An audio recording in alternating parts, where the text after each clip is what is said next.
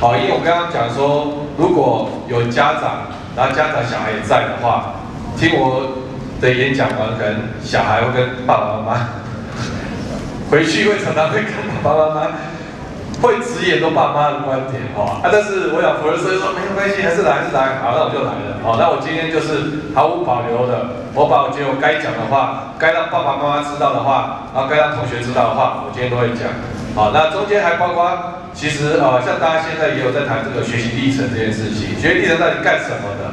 好，这东西是不是浪费大家的时间？好，这边的意义在哪里？我今天后面也会提到，OK，好。那我想，呃，一开始叶老师先，我先很快一下，大概介绍一下我在经历过的事情。就同学大家知道我是呃呃台大电机系的教授，是台大的老师哈。但是其实这过去这八年来，我做过很多的事情哈。比如说有同学可能中小学的时候有用过 Pagamo 啊，那我是在八年前创办 Pagamo 啊。那目前为止，Pagamo 前阵子我们有超过两百七十万的注册用户，我们现在是台湾最大的教育科技平台。然后啊，我在二零一四年开始，因为我在台大教书教快十年之后，我遇到很多的大学生，我越来越发现到说，我很多大学的思维在大学想要改变它，已经很困难了，因为很多你们的思维模式在中小学的时候就已经定型了。所以我那时候二零一四年的时候就告诉自己说，如果你要改变台湾的教育的话，我们要去帮助中小学老师做改变，我们不能等到学生进来大学才要去改变学生，那已经太慢了。所以从二零一四年开始，我就到处去很多各个地方的台湾的中小学去演讲啊。到目前为止，我已经讲超过七百场演讲啊。那另外就是刚才啊，这个岳翔老师有提到啊，就是说呃，同样操作在八年前，因为我到处去演讲，那很多老师虽然也被感动了，开始在做一些教学上的一些改变。但你知道，教授演讲啊，通常教授演讲有个原罪，就是你讲的再怎么有道理，下面还是有人不喜欢你，然后不喜欢你，的话就讲一句话说。教授就出一张嘴而已，哦，那我那时候刚开始听说就很生气，说你我们这么用心的把这教育理念跟大家分享，你怎么可以说我教授只出一张嘴？但是我后来想了几个月之后，我发现在讲你是有道理啊。我是台大的教授，我有没有真的教国中、国小的学生、高中的学生？我凭什么能够说服人家说我们在讲的教育理念，中小学生的教育理念是对的呢？所以在二零一四年，我就决定了，台湾的法律通过这个二零一四年有个实验教育法通过之后，我就决定办一所学校，叫无界塾。那无界塾是台湾啊第一呃台北市第一所从小学一路教到高中的学校。好，那目前八年下来，我现在的我们专任老师四十位老师，我们学生已经快三百位了学生，好是一个还是蛮大的学校。OK，好那。包括在去年，我无界所的老师，因为去年五年五月的时候，疫情期间，所有的二十几万的台湾老师不知道怎么做线上教学。但无界所老师之前，我们在前一年已经做过好几个月线上教学，所以无界所老师就拍了很多影片，帮助台湾老师做线上教学。好，好，那所以呃我。在二零一四年都拿了一个非常大的奖，好，这个就是全世界最厉害的商学院，叫哈佛商学院跟华顿商学院。华顿商学院那时候有一个创的一个奖，就是他们自己号称是国际的教育创新的奥斯卡奖，哦，然后包括哈佛啊、北京清华啊，这个全世界一流的大学都拿最厉害教育商学院来申请。然后我们台大教务长就跟我讲说，叶老师，你那个盘给我还蛮厉害的哦，可以拿盘给我去申请，那我就去申请了。然后申请又过两个月没消没息。两个月后就被通知说我们入围了，啊，就邀请我们飞到华顿商学院去发表，那就跟世界各国的这些名校教授发表，然后隔天他颁奖，真的颁的像奥斯卡奖一样，就是这个有点像金马奖一样，就一个奖一个奖颁，然后最大奖就像最佳影片奖颁最后再颁，啊，最后宣布说的这个 the overall award，呃，最大奖 goes to 哈，他们美国人也故意都不讲名字，然后我就看到我的脸出现在荧幕上这样子，好，啊，其实我们拿到这个最大奖，然后最大奖之后。后来我就开始，我们就在募资，好像就花很多时间去啊，开始把这个公司做起来。我前前后后募资啊，募了一千五百万美金，好，大概台币快啊五亿了，好，这个大概是台湾新创公司、教育科技公司的一个记录，好。然后我还写一本书，然后那我前一阵子写的做了一个线上课程，这线上课程啊打破台湾的记录。之前台湾线上课程呃最多人买的课程是莫彩希的英文课。在好好上面，哦，就是一个 YouTuber。然后我把我在台大十三年前创的这个简报课，我把它变成线上课程。然后这个课程打破记录，现在全台湾呃，自目前有一万六一万六千两百多人买这个课，哦，这是目前是有史以来台湾线上课程卖的最啊最多人买的一个课，啊，然后二零一二得到台湾最高双语奖项中专奖，所以我大概在过程当中我跟各位同学分享，我等一下跟你们分享的的的东西，不是基于一个台大老师，不是一个教授的观点。我过去六年担任 p a g a m o 的 CEO，我是新创公司的老板，啊，我有业界的观点。然后我在大学看到很多大学生的样子，也是你们不知道。你们现在可能知道说你们想要进大学，可进了大学会变什么样子，你们也不知道。在座爸妈也不知道，啊，所以我从教授的观点，从业界的观点，我要告诉你说未来人才是什么样子。OK，好，哦，忘记提了，我曾经跟我的伙伴继续讲有入围过。OK。就是熊仔啊，熊仔呢有一篇专辑，有一个信，哈，有一首歌，那首歌里面有一段话啊，就是有一次我上课跟他们讲过一段话，我上课跟他们讲过一段话，我说人生最该追求的标签是自己的名字，然后熊仔就很感动，然后几年后他在做唱片，然后说老师你可以把你上课讲那段话录下来，好叫我对着他那个麦克风，这样很尴尬，他说老师就录了录了录了，然后就录了，他录给他，然后他就把它弄到他的那个歌里面，哦，那个专辑进去讲入围这样子，OK，好。但是我想这个其实是一个很重要的，那个歌要谈也是跟今天要谈的东西很像，就是说，我想问大家一个问题，就是如果你拿掉标签的话，你这个人价值在哪里？我几年前有一次去一个我不要讲哪家公司，很大的一个金控的公司，他们请我对他们的主管上课演讲，然后呃，我说一开始演讲之前，我希望你大家自我介绍。结果发现他每个人自我介绍都讲说，哦，我是什么公，我们是这家公司的副总，啊，我是什么什么部门的副总，我是什么部门的协理，不不不，然后我就发现说，他们的自我介绍如果拿掉那个标签，拿掉他的职衔的话，你根本不知道这个人价值在哪里。所以那天上课我就问他们一个问题，说，如果拿掉你的职衔，拿掉你的标签的话，那你的价值在哪里？那同样的，在座的同学，你们可能是来自很多的学校。我以前在国中的时候，我那时候就觉得说，我想要上，我想进建中，我就在进建中，哦，就我就这，我就很拼命，我就想要进建中。我觉得进建中这个天下，哦，这个世界就美好。我很想要建中的那个标签。可是我进了建中之后，我就开始觉得我很想要进台大，然后就换多力气，然后我要再去收集到台大那张标签。我收集到台大的标签之后。我又觉得说啊，我很想要下一张标签，就是美国名校的博士学位的标签。然后我我我每一个阶段在追求标签的时候，我都都是在自我催眠或自我欺骗自己，说我只要拿到这张标签就好，我只要拿到这张标签就好。可是真实的世界是，当你拿到这张标签的时候，下一张标签就跑出来，然后就一辈子过着那种追逐标签的生活。然后我是一直到三十岁才觉醒，说这样的生活其实是一种地狱，你永远没有办法从这边逃脱。所以我要讲的是说，人生最该追求标签，就是你自己的名字，就是你这个人有没有什么价值，你这个做什么厉害的事情，做什么很棒的事情，这个才是你这个人的标签，不是你念建中、北女或是集美女中，不是你念台大。那种标签也很多人有，有那个标签没有什么用。坦白讲，我等下后面跟各位讲为什么没有什么用。所以这个我想各位以后可以常好。当你发现说你已经在迷失在，或者是身边的大人一定要你要拿到什么标签，或者你自己有时候我也看到很多学生是爸妈有逼他，但他自己就觉得他一定要什么标签。在那个时候很苦的时候，你可以想一下这个事情：如果拿掉标签就没有价值的话，那这个标签值不值得你去拼啊？OK，好。好，我们今天讲三件事情，真实世界挑战啊，因为你要变成会变人才嘛，人才但是真真实世界的人才，那你要知道这个世界是什么状况啊，那你才会知道说哦，那我在这世界我是变什么人才。那再一个就是说，我们要谈未来最关键的能力是什么能力，然后最后一个我们要谈到怎么让自己变强。好，我今天谈这三样东西哈。那最后一段我其实还有一段我会谈是跟爸爸妈妈谈亲子教养的事情。OK，好，我再好今天今天讲一个四样东西了哈。我们先看一下真实世界挑战。我先给大家猜一个数字哈，大家猜猜看，你们觉得全台湾的所有的大学，全台湾所有大学一年当中有多少学生修退学？哦，全台湾所有大学一年当中修退学生加起来有多少人？那我先给大家一个概念哈，我们现在因为少子化，每年的大一新生在十几万人，哦，十四万人，所以乘以四，就大概是所有大学生的人数。那如果十四万再乘以二，因为硕士班大概是两年，所以再乘以二就大概就是大概二十八万、三十万，大概是硕士班的人数哈。你大概有一个概念，台湾的大学现在有多少学生哈？那你猜猜看，一整年当中有多少学修退学哈？一万、两万、五万还是十万？我们投票一下。你觉得一整年当中，全台湾休学的大学生加起来超过一万的举手一下。好，有些爸爸妈妈举手是一万，你觉得超过是两万的举手一下。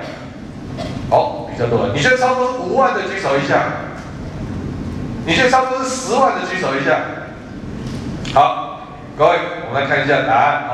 这是联合报，联合报这种框架来写的哈。他说一百零六学年度哈，一百零六学年度全台湾这个大学休学的总休学人数是二十万九千三百九十二个人。二十万九千三百九十二个人。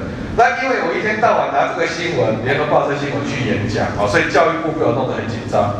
所以教育部就特别派一个高教师的官员来跟我解释说：“老师没有啦，这个联合报弄错了，人没有那么多啦。”哦，我就问他说：“那联合报是怎么弄错的？”他就跟我说：“老师，因为这个联合报的算法是把上学期的总休学人数加上下学期的总休学人数加起来是二十万九千三百九十人。那教育部的意思是说，很多学生休学一休就是休一整年的，所以上学期休学的人里面有很多跟下学期的人是一样重叠的。”我就跟他讲说，那就假设百分之百重叠好不好？二十万九千三百九十除以二是多少？十万四千五百多人啊，五十万十将近十万五千人啊。所以各位同学、各位爸爸妈妈，你都不知道现在台湾的教育问题多严重。每一年有十万人，至少十万人休退学。好，我每年哈，因为以之前几年台大每年都会请我对大一新生做啊四场演讲，上学期两场，下学期两场。我跟同学报告，我每年在台大对，因为因为演讲，他给我的场地是台大最大的教室，一场演讲在四百人啊四五百人，所以所以四场话一年我大概对快两千个台大大一新生演讲。每年让我最难过的演讲是什么呢？就是下学期那两场。下学期那两场演讲都是一直在谈说，哎，怎么有个充实的大学四年？那我演讲完四百多个人，演讲完以后，我就问各位同学说，各位同学有没有问题？啊，他们说没有问题。我说没有问题，那今天演讲就结束了哈，谢谢大家。然后就我就开始在讲台收我的东西，电脑啊这些东西时候，稍稍一抬头发现，哎，啊怎么好几十个人围在我讲桌前面？我才发现说他们问题很多，只是他们不敢在四百多个人面前问。可是每年演讲。他们留下来的学生，每年的学生问问几乎都一样，然后每年的答案都一样可悲。每年他们都问类似的问题，都是问说：叶老师，我进了台大以后，过了一学期才发现这科系跟我想要不一样，我读到痛苦，请问我该怎么办？我说你就重考啊。然后他就跟我讲说：叶老师，可是我爸妈说我已经考上台大，叫我不要再浪费时间重考，给我给姜考料，叫我加减把它读完。好。这个很可悲啊，这答案可悲。那我跟各位讲，还有个另外一个更可悲的答案，也是每年都会出现的。同样的问题，如果说叶老师，我读了这个科学有多痛苦，请问我该怎么办？这跟我想象不一样。我说你就重考。他跟我说，叶老师，虽然我爸妈没有反对我重考，可是我就算再花一年重考，考完，我还是不知道我要填什么系啊。讲完不夸张，那个眼泪就像水龙头打开一样狂流。然后跟各位讲，这个现场的状况不夸张，几十个人里面就好多个跟着一起哭，那个画面很诡异，就好几个大家在哭。但是你问我说我要怎么回答这个问题，我不知道怎么回答。他说他在花一年的时间，也不知道自己要选什么时候，你能够跟他说什么？Nothing we can do。那这些事情为什么会发生？然后你说，这种我每次看到这个都很难过，真的很难过。然后二零二一年，台大五天之内自杀了三个同学。然后二零二二年今年，啊一月二号跳一个，一月九号跳一个，四月跳一个，八月二十六号女生宿舍跳一个，还有最后两个跳的后来是有救回来。好，然后这个是有一个后来。这个有一个学生，我看到他写的部落格啊，就是很多学生自杀之后，他写了一篇这个，好，我把他他写记录下来，他说，七年前刚从毕刚从高中毕业的我，受邀回宜兰高中，在新生入学典礼致辞。那时我像主主持直销大会一般，激情的分享如何用高中三年在考试升学制度中胜出，考上好大学。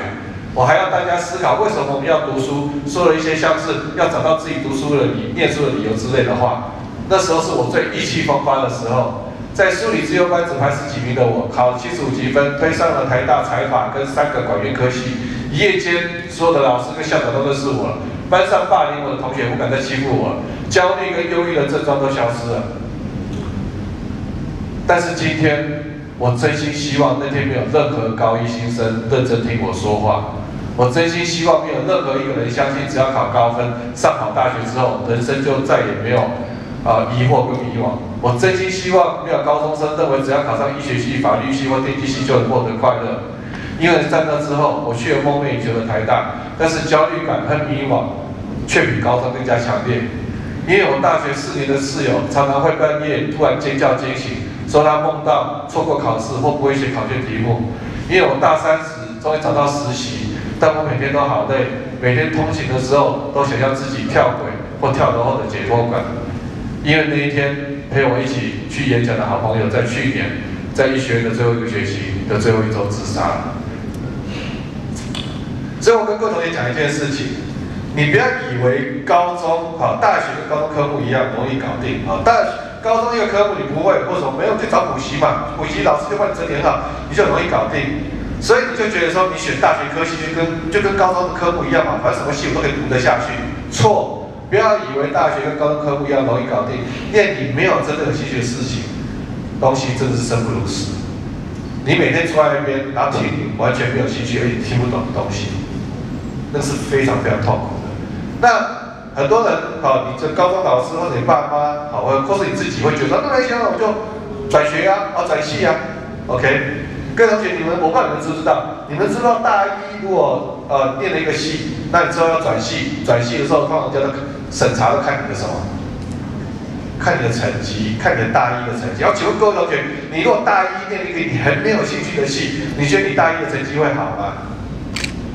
我当年的年代，因为我高中的时候就是常常参加，参到处参加数，我就是数学进士啊，这很厉害，所以我后来保送台大数学系。我那一年有很多。台大数学系的同学是当年大学联考分数刚好到台大数学系，他们就想说先进数学系之后，以后再转系转到别的系。他们对数学根本没有兴趣。后来这些同学全部都是老死烂死在数学系里面，因为数学系没有兴趣，你是根本读不下去。数学系不是像高中数学一样，物理系也不像高中物理一样。好，所以到头来我反而认为前面那个十几或十万个休学的人还算好的。因为至少这些人敢为自己的人生开始做一些改变，那些不敢休学的，转系又转不出去的，那也不敢重考，因为重考不知道填什么的，这些同学接下来就每天就坐在教室里面，听着他完全不懂的东西，然后就趴在桌子上睡觉，作业呢都抄同学的，考试又都作弊会过关，然后上课就像一滩烂泥一样，这是台湾的大学的现况，不是台大啊，台大里面台大也有这样的学生，但我要讲说。台大大学还算少一点，但全台湾很多大学的大学都是像这个样子。那这问题是大学教的不好吗？不是。为什么这些学生会这个样子？就是我们的教育制度啊。我们的教育制度，大家同学都知道，高三寒假考学测，对，你用学测的分数去申请大学。高三寒假考学测，我请问各位同学，在高三寒假学测前的这两年半，高中三年的前面这两年半，你身边的大人或是你自己？会很鼓励你去探索你自己的兴趣方向吗？不会，所有的大人就跟你讲说，你学测考不好，什么选择都没有，先把学测弄好再说。所以前面这两年半呢，都一直在忙着学测这些科目。等到高三寒假学测一考完了以后，啊，这一出来之后，那接下来呢，台湾的很多的大学因为少子化，现在都是很缺学生，他们最想要的 KPI 就是最大化他收到学生的人数。他们的 KPI 不是最大化兴趣跟科技相符的人数，所以现在的制度是什么？学测成绩这样出来，要短短一个多月就要哪些科技？你那个一个多月才要去探索你自己的兴趣、你自己的方向，才要去了解全台湾一千九百多个科技在干什么？你觉得这个时间够吗？然后身边的大人就开始告诉你说啊，你这个分数没有填什么线，好可惜哦。好啊，我常跟我常讲，就是每一个家族都有一个话非常多的阿伯，很爱出意见。好，啊，你就念哪个系最有前途？然后那一个月你看了好多资料，你很烦的。最后啊哈哈，一念就自己说服自己说，好，那个系就那个样子，然后听起来不错，就进去了。进去了才发现都不是一样的。各位，你知道台大的学生？亲子天下的调查说，再给你回到四年前，再重新选择科系，你会愿意选原来科系有多少人吗？四成，有六成人不愿意选原来的科系。然后我再跟各位分享一个一件事情，这个台湾的，所以这个是现在非常严重的问题啊！我请问各位啊，当一个学生进入到一滩烂泥的状态的时候，你觉得他大学四年毕得了业吗？不是，他要五年六年才毕得了业。那我再请问各位，他五年六年毕业毕业的那一天，他会突然变成一个很振作的年轻人吗？不会的，就废了。所以为什么我要跳下来改变他的中小学教育？因为这些事情太可怕了。台湾已经在少子化，我们各行各业都需要非常多需要人，可是我们台湾的制度教育制度正在大规模的把我们台湾的年轻人、把我们的学生变成一滩烂泥，变成无动力时代，这是很可怕的事情。所以我要跳下来。去跟中小学老师做很多的演讲，我希望这些事情可以从中小学开始做改变。所以这五东西是在是台湾现在很严重的问题，很严重的问题。烂泥状态拖五六年，哦，这个毕业后的这个变好不会。再给大家看哈，这个台湾现在产业有一个非常严重的问题，这个是根据人力银行调查，有七十三 percent 的公司的老板认为增才很困难，很难找得到适合的人。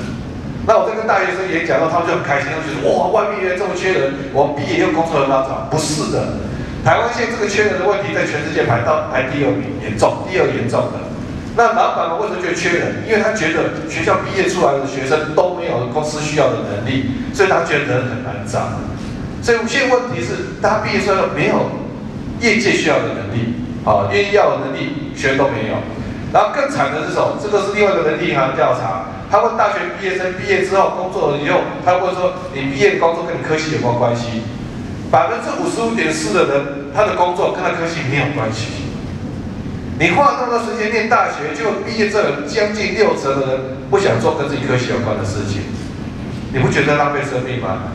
这这件事情哦，我我那时候看到这新闻，我还没有太深刻的感受，是大概三年前，三年前有一有一个学生是国立。啊，北部的某一家国立大学的资讯工程系的学生，啊，我不要讲哪一家大学，但也不不是台大，他在北部的某一家国立大学念资讯工程系，然后他大四的时候，他考上台大电机研究所，那他考到电机研究所，你就去那个系找教授聊天，想要找他当指导教授，所以就有学问我说，他可以跟我聊一下，他想找我当指导教授，我说好，就来聊啊，然后我就跟他聊了，然后聊天的过程当中，他就一直在自我介绍，讲他说大学四年修过什么课，做过什么专题。做过什么专题？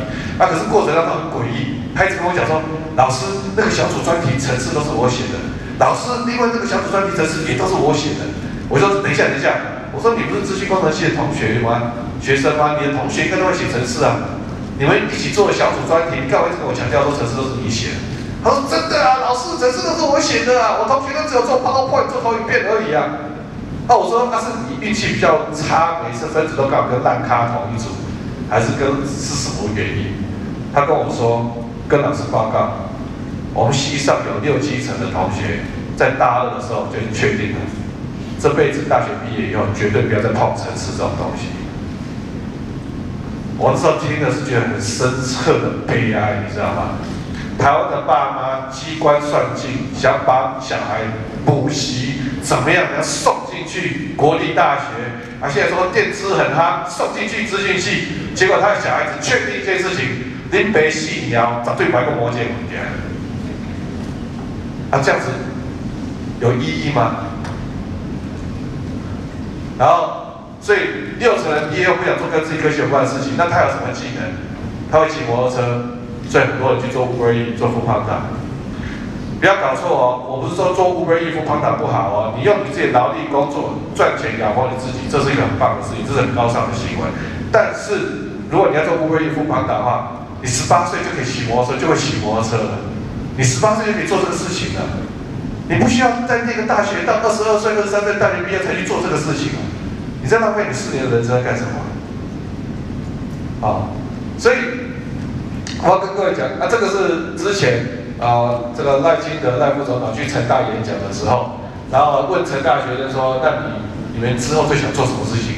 四成的人说就想躺平了，大家没有动力啊，他未对未来的人生就是没有动力。我刚才讲就是无动力时代，这是现在台湾最可怕的地方，就是很多年轻人对未来没有动力。所以各位同学。我觉得你们很棒，你们会在礼拜六这样的这样的时间，哦，假日啊，一整天坐在这边，你们是？有动力的人。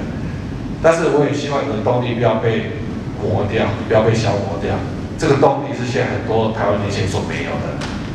所以我想问自己，各位同学，你希望你自己，或是在座的是爸妈，你自己的孩子几年后变这样吗？不要说这件事情会发生在你或你的孩子身上哦。那十万个，每年十万个。修退学的家长从来也不会学，觉得说他小孩会修退学，他就觉得说小孩上了大学，上的还不错的大学，台面前大学，他就可以放心游山玩水了。没有啊，隔一年他小孩说我不想念了，他不知道怎么办。然后更重要是不要觉得大学跟高中一样容易搞定啊，念你没有兴趣，真的生不如死。记得叶老师的话，真的生不如死，不要觉得说啊什么戏我都进去都可以念。不像高中的科目，随便一推都有人可以帮你补习啊，没有，真的没有。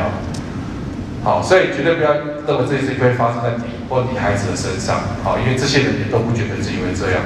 那不只是现在学校状况怎么样，我也这个样子，我还跟大家看这国际的趋势，各位都可以猜一看啊。根据牛津大学的研究显示，二十年后，二十年后全世界现有的工作里面有多少工作会消失？啊，百分之十二。百分之二十七、百分之三十九、百分之四十七，好，来投票一下。你觉得大概是百分之十二的，接下来二十年百分之十二的工作会消失，好被淘汰？举手一下。你觉得大概是百分之二十七的，四分之一左右的就好。你觉得大概百分之三十九的，四成，好。你觉得是百分之四十七的，OK，好，各位。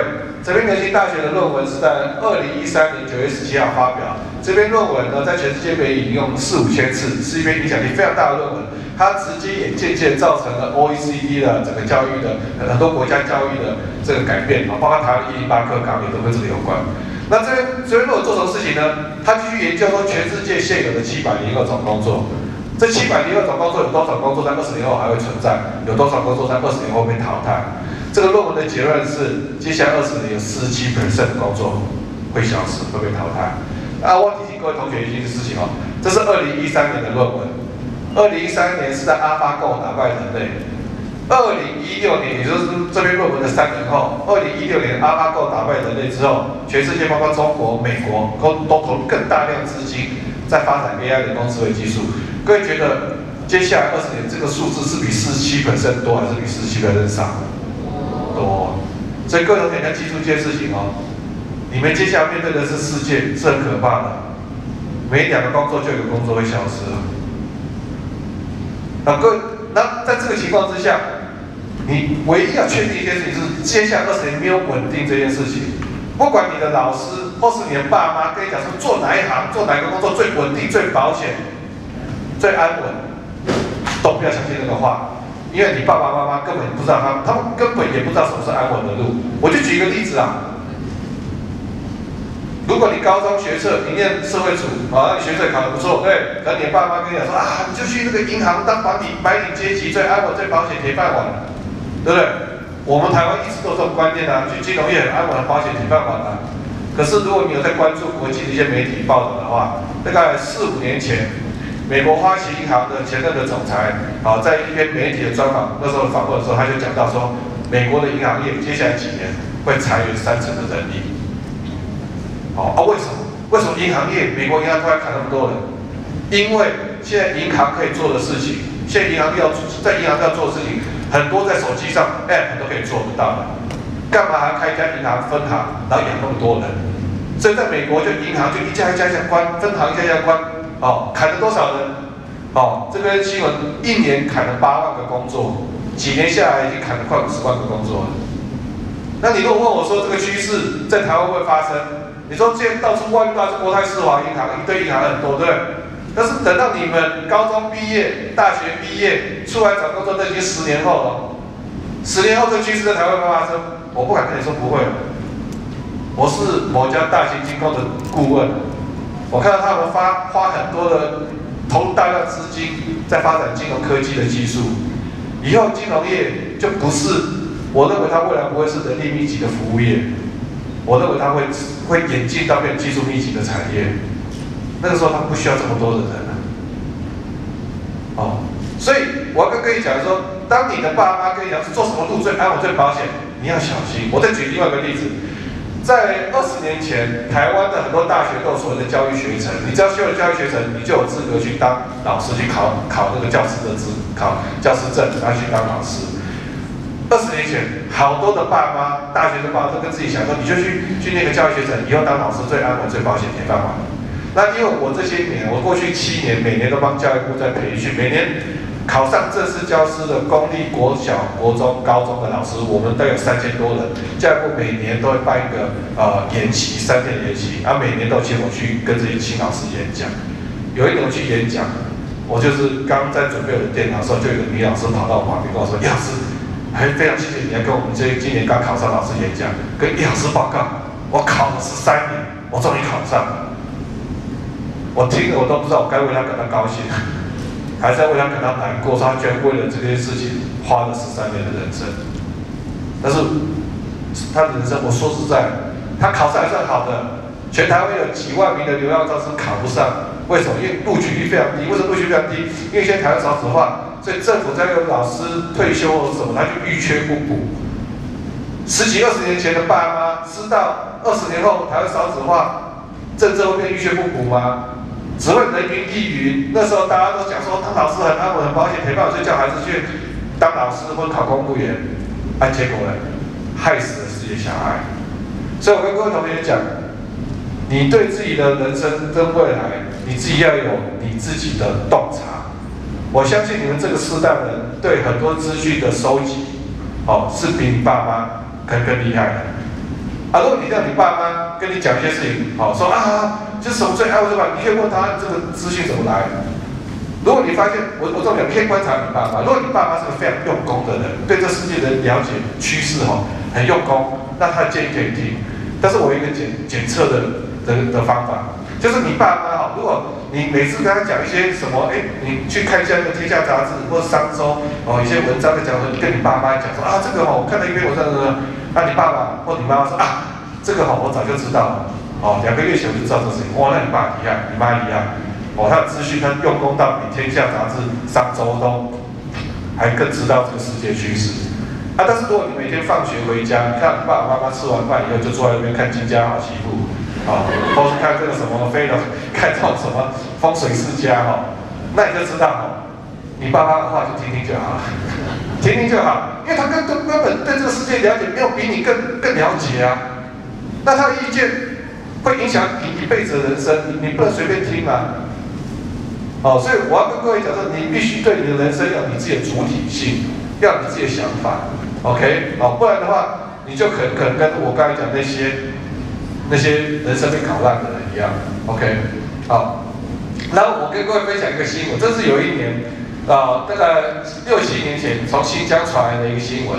就是当地人呢，在一座山山脚下发现四十几只羊集体死在那边，就一夜之间，前一天没有发生，发现，就隔天早上发现，这四十几只羊在山下全部死掉，然后就觉得诡异，怎么会一一夜之间有四十几羊集体死在那边？啊，如果是在台湾呢，那个台湾农检工或者保洁就说都是外星人杀的这样子哦，啊，但是当地人就去做调查，后来他们调查找到原因了，他们找到发现什么？他们在这个山的上面，在这山的上看到很多羊的脚印。后来他找到原因了，原因是为什么？就羊这种动物是一种非常懦弱的动物，这些羊呢不敢走自己的路，所以这些羊一定要跟着一只领头羊。那这群羊呢很倒霉，那天晚上跟了一只眼睛有问题的领头羊。那只领头羊走到悬崖边，不知道是悬领头羊走到悬崖，不知道是悬崖，它就掉下去了。然后第二只羊跟着老大走到悬崖边，觉得还是跟着老大比较安全，也跳下去了。然后第三只羊、第四只羊，咚咚咚咚咚，四只羊全部都跳下去了。啊，全部死在这边。那我第一个反应就觉得，哇塞，这群羊跟台湾人好像。台湾人就是这样啊，别人就是补习，啊我就跟着补习，啊别人干嘛我就干嘛，我们都不敢走自己的路啊。即便我们觉得这个路，哎，人家做这个事情怪怪的，可不见得对我是好的，但是因为大家都做，你就觉得说我还是做比较好。因为台湾人最怕一件事情，台湾最怕说自己走错路，只有自己一个人死。啊，即便这个路看起来有问题，但是很多人做，大家就觉得说，那到时候大家一起死我也甘愿。台湾人更加去死甘愿。但是你怎么没有想过说，你走你自己的路，有机会走出一条生路呢？事实上，在我来看，现在很多很多人在走的路，是不是活路？不是活路啊！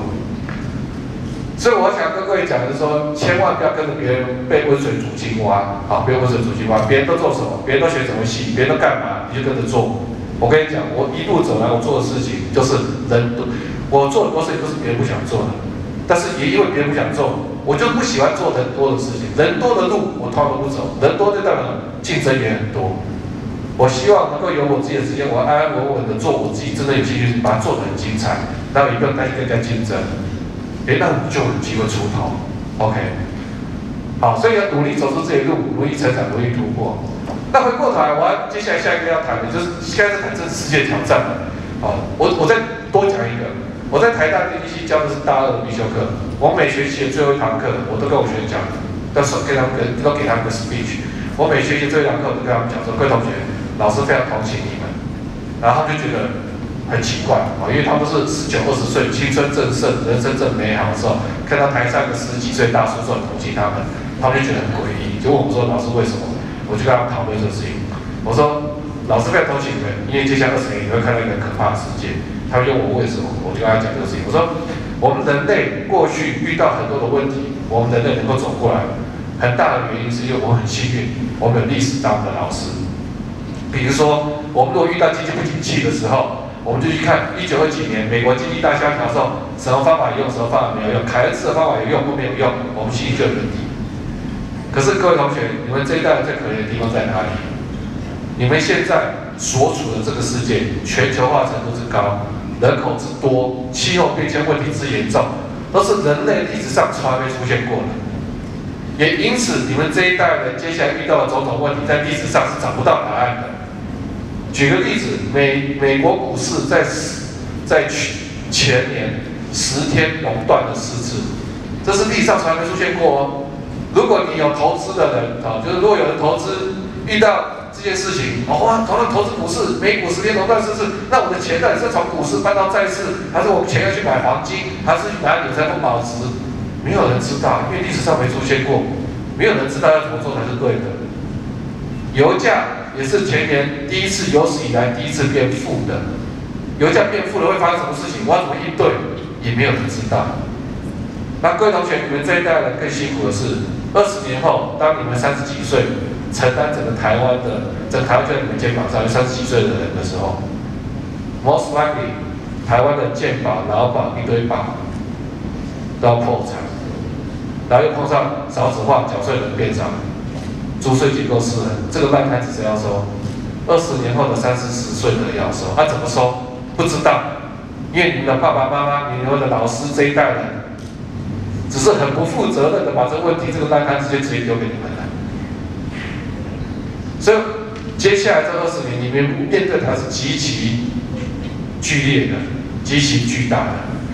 爸爸妈妈用过去的世界。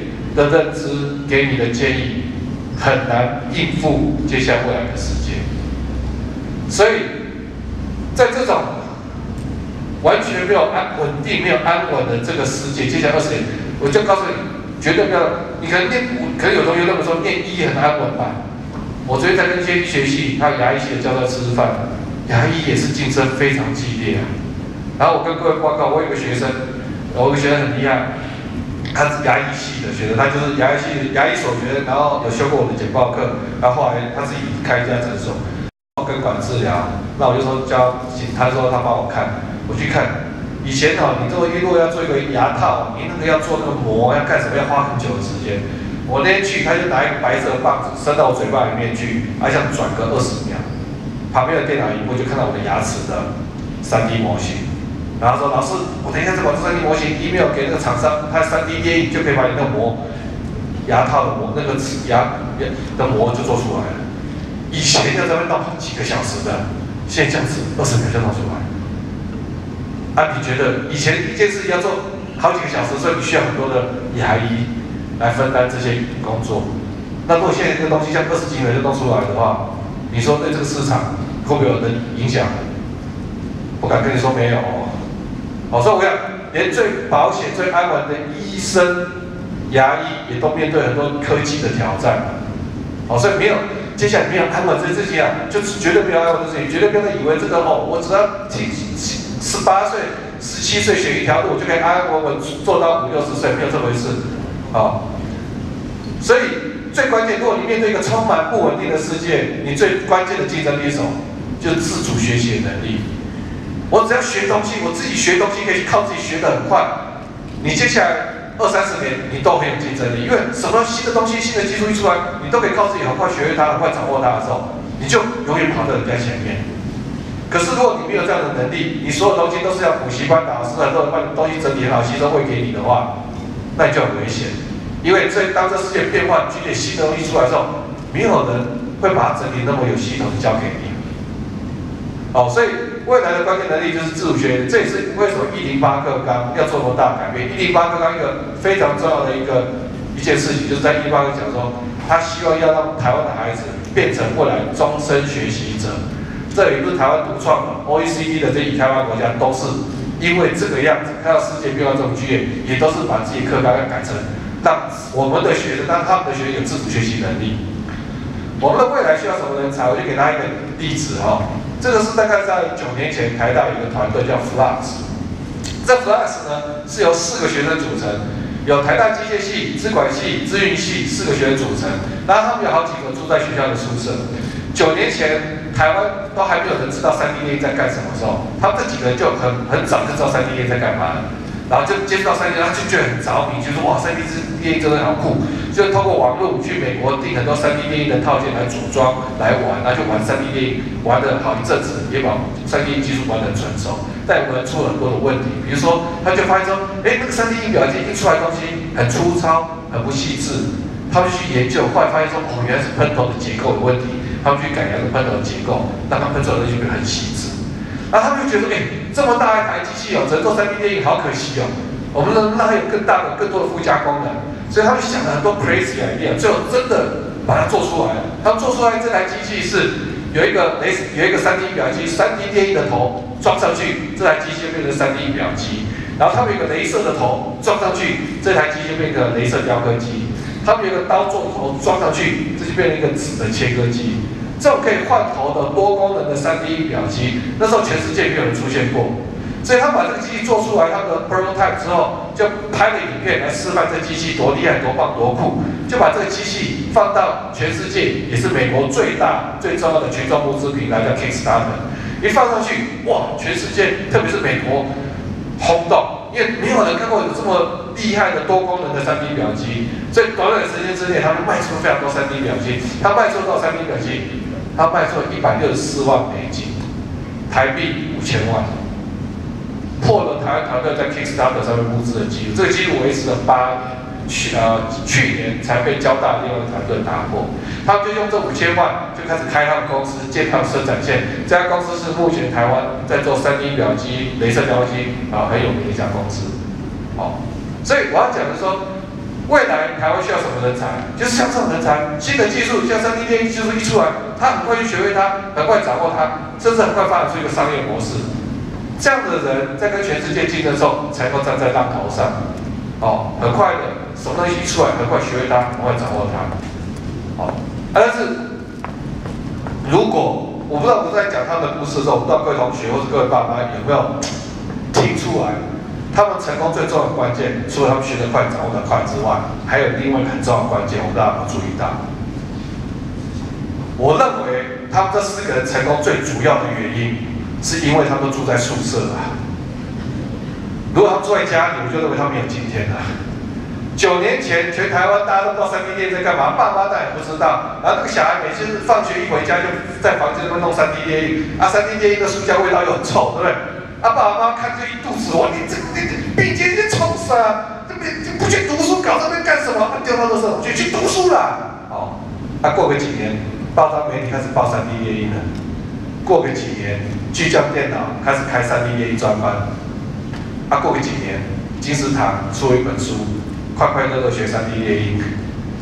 等到那个时候，才要让孩子去学 3D 列印，全世界已经上亿人会 3D 列印了，没有什么机会给台湾的年轻人啊。学得快，掌握得快，才是永远跑在前面的关键。好，这个是很重要的。好，啊，所以。我就是在这样的理念之下，我创办这种学校无界书，OK 哈，这个这个是我们就是从小这个课程，我们就设计很多的主题式的课程，好，然后要培养他们一些关键的素养，然后我们有上课都是都是很多的互动跟讨论，然后啊，我们很多的户外活动要培养他们的团队合作的能力，那更重要是我们从小学啊开始就给他很多的选修课，让他们能够从小就开始试出自己兴趣在哪里。然后每天都在做创新设计实做的事情，然后更重要是，我们让他接触台湾这个土地，对台湾这个土地要有感情，所以我们就是让他看台湾很多各式各样的人文特色，以及不是只是坐在教室看课本的照片，啊，然后我们从小就让他做非常多的专案 project，就是我们认为做事能力比考试更重要。然后我们都呃会设计在荒野原始的环境，因为我发现说很多把他送到原始荒野的环境里面，他们才学会照顾自己、照顾别人。然后更重要的是，我们就找很多不同工作人跟他们谈，让他们知道说他们的未来不是只能当医师、律师、老师，还有很多很棒的工作。然后我们就这样做下来，然后我们在过程当中一直训练他们的自主学习的能力。然后我们真的不在乎考试，我们希望你的时间都花在。学习怎么学东西，然后我们在呃几年前，四年前，我们做了一个实验。四年前的那一年的暑假，我就跟孩子们讲说，我们要帮一个卖甜点的团队做一个卖甜点的网站平台。我就说你们有谁自愿参加？就有两个十四岁的孩子，两个十五岁孩子说要参加，两个男生，两个女生。而且他们是有非常粗浅的城市经验，没有写过什么城市的。啊，这一点点层次间，但是我们故意，因为我们要让他，我们要做实验，我们要跟这个，我是跟台大蔡云珍教授合作，说我们要做实验，说他们能靠自己学东西，所以我们说，哎，这个网站呢，我们故意开一些很难的技术规格，比如说我们要求说，这网站要架在架在亚马逊的云上面，所以你要学会在亚马逊的云上面怎么架网站。我们要求他说，这个呢必须要信用卡结账的功能，所以你要去了解说，在网站上怎么做好信用卡卡结账的功能。然后我们要求他说，哎，半夜可能会有人问问题，所以你要有个 Line 的聊天机器人可以回答问题。这三件事都是他们没做过的，所以我们想要做实验，说如果我们这样子训练的学生，他自主学习能力，他能够多久时间把它完成？那时候我跟蔡教授讨论说，我们觉得学生大概需要三个月的时间完成。结果后来。我们很震撼，因为我们的学生啊，这两个十四岁、十五岁孩子，他们就是三个礼拜做出来。记住我刚才讲，他们有非常粗浅的城市经验，他不是城市高手。然后在这当中最被震撼的一个是谁呢？就是这个人，我跟大家介绍一下这个人，这个人叫王冠仁，他念建中的时候是建中资讯社社长，是建中最会写城市的人。啊，也代表建中参加很多的比赛，后来推升上台大数学系。那因为他城市非常非常厉害，所以台大那时候很多大学部的这个城市课就请他当助教。所以他在大一、大二的时候就开始在当助教。他带过很多大学生，也带过国中生、高中生营队。那我们就请他当学生的 coach。什么叫 coach 呢？就是学生在做的事，这个东西不会做，一定会跑去问他。但是我们严格要求他说，coach 不能教他们怎么做。学生去问你问题的时候，你只跟他说看这个 PDF，看这个 PDF，他只能给他资料文件，他不能教。那还是要靠学生自己去看，自己去学，自己去弄弄。就整个过程完成之后，最被震撼的是他，所以我们就跟跟他做一个访谈，好，跟他分享到他是怎么看待啊这种不同的教育的做法。因为你之前已经带过其他高中生，对，那到到大声一点，你觉得观察到的差异？我觉得就是从本质上来看，大声一点的学习方式的引导，大声一点，就是他们他们在接到学习的资讯的时候，他们是很用心去最最大声啊，这方面会支持。当然有部分是因为教我的方法，但是一般的模式可能可能就是听到然后就好就好了。他们如果不重新再播一遍，就是你之前已经带过其他高中生，对，那现在带这他们三个礼拜，你觉得观察到的差异是什么？我觉得就是从本质上来看，这些小孩的学习的方式的力道跟一般的国生非常不同。就是他们他们在接到一些新的资讯的时候，他们是会很用力的去吸收或者是查这方面有关的知识。当然，有一部分是因为像我们发达，但是一般的国生他们可能就是听到然后就好就好了。他们如果不管是懂或是不懂，就是不会再往下转下去。这我我觉得这是学习态度的根本差异。就是我所以我好奇说，到底是呃就既有的体制下的教育方式哪里出了错，还是还是无限的真的有很神奇的方式可以让这些小孩。突然就把大脑开发的很厉害，还是怎么样？就是我觉得这个差异是非常显著的，就是不是任何一个国生，就是甚至高中生来这一个月，或者甚至大学生，就是可能一些平常没来上的大学生，他们回来这一个月都不见得会有别的小孩这样的成果。所以我觉得，呃，透过这个月，我觉得给社会上很重要的一个想法是，我们的社会需要怎么样去培培育我们的下一代，就是我们小孩。就是真的是我们只要塞一些知识，什么什么什么男皇帝南印做什么事，这种知识就好了吗？还是我们需要给他们是一种方法论上的一种一种培养，或者是对于学习的呃方法的吸收吗？还是怎么样？就是就是我们我们需要去重新想说，那样的教育体制为什么失败，跟这样的教育体制为什么逐渐进入成？这这个是建中最形成式的在 OK，他在看这个事情，我觉得他就。非常有代表性，所以我要跟各位分享就是说，在未来接下来这个世界啊，如果你要变成人才的话，最关键的能力就是你要养成自主学习的能力。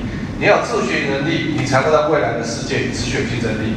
绝对不要想说，我只要念哪一个科系，我就这辈子都有竞争力了，没有这回事。因为这世界是变化非常剧烈，两个公司就工作会消失。但是现况是怎么样？我们大部分同学哈，我我跟各位讲，我其实觉得很感慨。我大概在前年那时候，我跟我的团队的伙伴讲说，我说我想要把一些想法跟趋势去跟台湾，跟让更多高中生知道。所以我那时候跟他讲说，请他们帮我找这个在 IG 上面最多人追踪的这些读书站，啊，大概比啊有四五千人以上的这些读书站啊，我想跟这这些读书站的这些 IG 的这些呃我们哇，这些高中生一起，我们能够每个每个月约个时间一起聊天。然后我的团队同伴就去找，啊，他真的找三十个很厉害的一些读书账，然后他们这些学生也很想跟我聊。然后有一天我就我就说啊，你找好没？约好没？他就跟我说哦，老师老师约好约好，下礼拜五晚上十点跟他们跟我们聊。我说怎么约礼拜五晚上十点？礼拜五晚上十点就是我要休息，我们大家休息的时间，怎么约礼拜五晚上十点？他就跟我说老师，可是他礼拜六礼拜天就都要补习，他平日也多人都补到晚上九点半。然后回家是差不多十点，然后礼拜五晚上十点是唯一一个大家都有时间的时间。我说其实觉得很悲哀啊！我我我们这社会把小孩子逼成这个样子，然后补习班这种东西，责任人也很好吸收，就是像个静心静心中学的教务长呃教务主任跟我讲说，静心附近的补习班把他历年历届所有的月考考题都收集的很完整。然后都分析很厉害，所以每一次的月考前，他就跟他说：“哦，你们的数学，你们这个年级的第二次月考，你们老师要考这几个题型，你们只把这几个题弄会，你就是分数就很高啊，真的分数都很高。可是主任就跟我讲，那都是假的啊，那是假的啊。你去考学测，去考会考的时候，人家出什么题目，根本不是你补习班猜得出来的。啊但是我们就是这样子嘛，就喂喂喂，把东西整理好，吸收喂给小孩子，然后用考试逼大家读书，然后不考不念，考研就忘。”我最近看了一个影片，我就觉得这个影片很像台湾的学生跟大家分享一下，这边一只鸟想要吃这只虫，大家观察一下这只鸟是怎么吃这只虫的。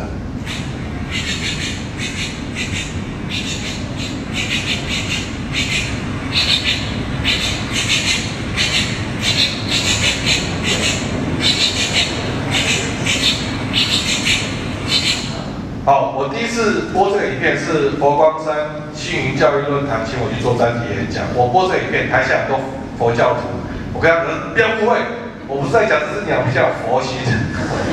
这只鸟的问题是什么？这只鸟就以为说，它只要对着虫，嘴巴张得大大的，虫自己就跑到它嘴巴里面去。那为什么这只鸟这么北西的想法呢？因为它从小。是小鸟坐在鸟窝里面的时候，它看着它爸妈把虫叼回来的时候，它就嘴巴一张开，爸妈就把虫丢进去。他的嘴巴张开，爸妈就虫丢进去，所以它已经习惯了，他就以为说吃虫就是嘴巴张开，虫就会自己跑到嘴巴里面去。等到有一天他离开巢了，要靠自己进食的时候，他就不知道怎么进食了。各位，当你们每天在补习，被逼着去补习，那补习老师很好的把这个药吸收给你的时候，你要想小心。问你自己，你有没有在变成这样的样子的鸟？为什么那么多人进了大一就要休学？因为进了大一微积分你不会，没有人在补习班在帮你补微积分的。啊，也没有教教授，也不像高中老师说，哦，你们这个微积分修的比较不好，嘞，这个礼拜老师找个时间帮你加强补救教学一下。也没有啊，哎，听到也来不及啊。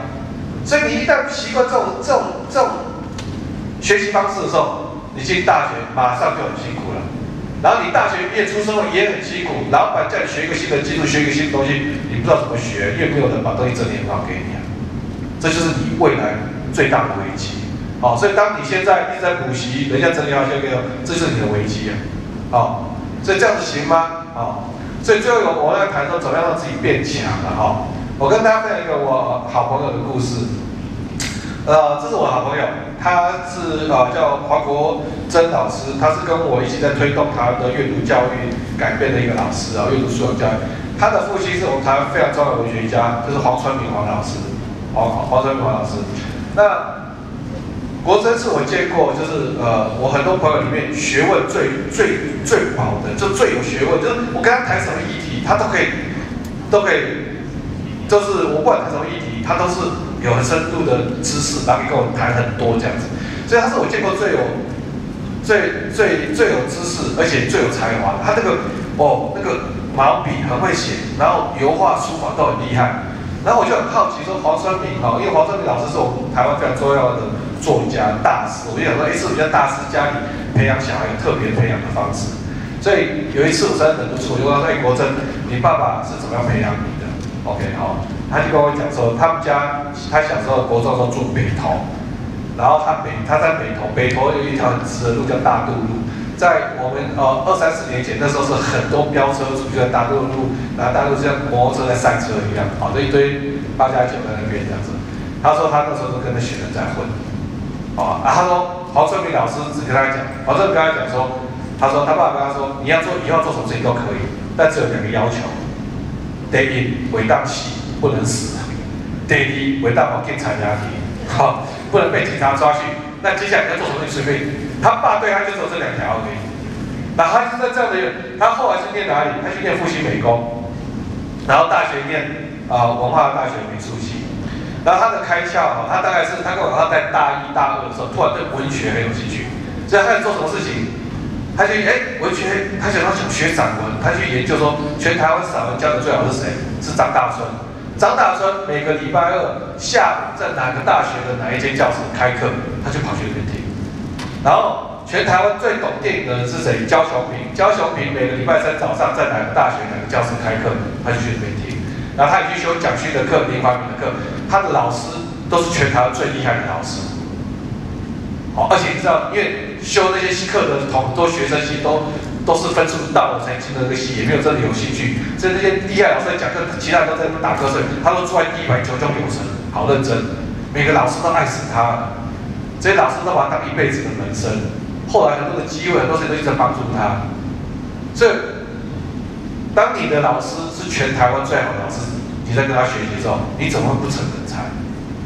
你今天一定要念台大才可以上到叶老师的课吗？哦，呃，但但我简报课是没有办法开放旁听的，但是我基地课你坐在教室听都可以听啊。全台大的老师的课都可以继续听，台大老师基本上是不会阻止你旁听的。那我为什么一定要花那么多时间补习练考试？那就是要上台大呢？哦，最厉害的老师都可以去找啊！哦，所以我要跟各位讲说，当你最重要是你找到自己想成长的方向，帮自己找到学习资源，你就变一流的人才。可是有一次我跟一群家长演讲的时候，就有个这样举手说：，可是叶老师。